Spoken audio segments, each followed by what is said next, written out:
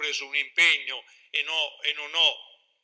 diciamo così, intrapreso una finzione. L'impegno era quello di verificare fino in fondo la possibilità di poter tenere eventualmente questa straordinaria festa dei ceri nel mese di settembre. E questa verifica verrà fatta fino in fondo, eh, naturalmente sapendo che eh, oggi, eh, ad oggi eh, abbiamo davanti a noi ostacoli eh, notevolissimi.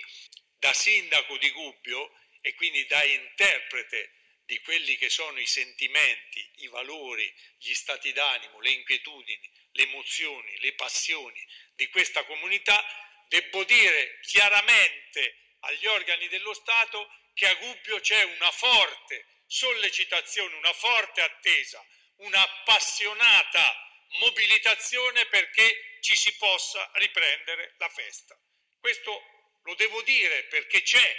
anche se naturalmente con accenti, con modalità e anche con argomenti eh, diversificati, con una convinzione che non è ovviamente assoluta, che non è generalizzata, però questa spinta è presente e saremmo miopi se non la cogliessimo.